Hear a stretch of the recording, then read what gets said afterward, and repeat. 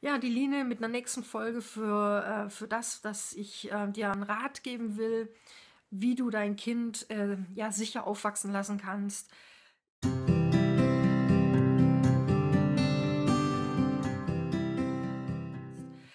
Letztes Mal hatte ich ja über die Wickelkommode gesprochen und ich möchte noch im Kinderzimmer bleiben ähm, und darüber reden, was Schränke angeht generell. Also hinter mir siehst du ja so ein Regal. Ja, das ist äh, ganz oft in Kinderzimmern, dass eben Regale oder Schränke stehen. Und manche Kinder klettern gerne da drauf. Wir hatten leider Unfälle, wo äh, dieser Schrank ähm, ja, umgefallen ist und die Kinder tödlich verunglückt sind, weil es einfach dann doch äh, relativ schwer war.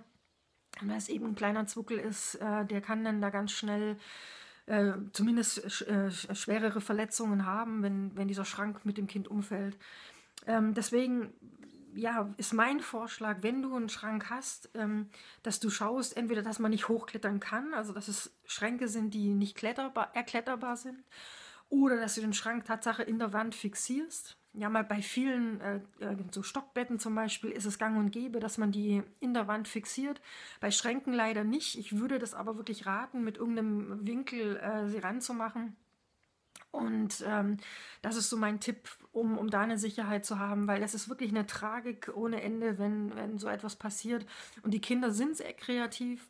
Ähm, man kann gar nicht so schnell gucken, wie die Kleinen da hochklettern und sollen sie ja auch können, ähm, aber dann ist es dann eben doof, äh, wenn das so ist. Ich hatte mal einen Schrank, ich verlinke den mal unten, wenn ich den noch finde, der war von, von der Firma Haber. Der hatte so Kletter, Griffe dran, also man konnte praktisch auf diesen Schrank draufklettern. Sowas ist natürlich eine Alternative, dass man sich Möbelstücke holt, die zum Klettern geeignet sind. Der ist also sehr breit und äh, dadurch hat er einen sicheren Stand. Ähm, oder man macht im Haus selber einfach Klettervorrichtungen, ähm, sei es im Türrahmen kann man sowas machen oder eben an der Wand, ähm, dass man Alternativen bietet, die besser sind als jeder Schrank und die Kinder eher dann da klettern.